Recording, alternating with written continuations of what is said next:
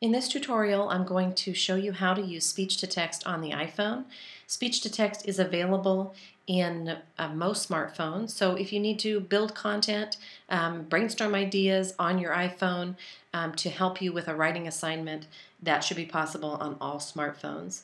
Within the iPad, you'll notice when I pull down um, to show my keyboard, I have the microphone available. So I could speak into this settings and have it show up, right?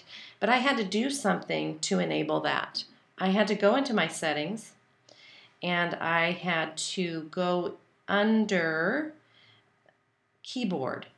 So let's look here where the keyboard is found. It might be in general and then we go to keyboard. There it is.